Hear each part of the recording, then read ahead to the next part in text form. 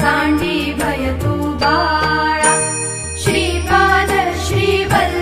मणति भमयतु स गोपाडावेणा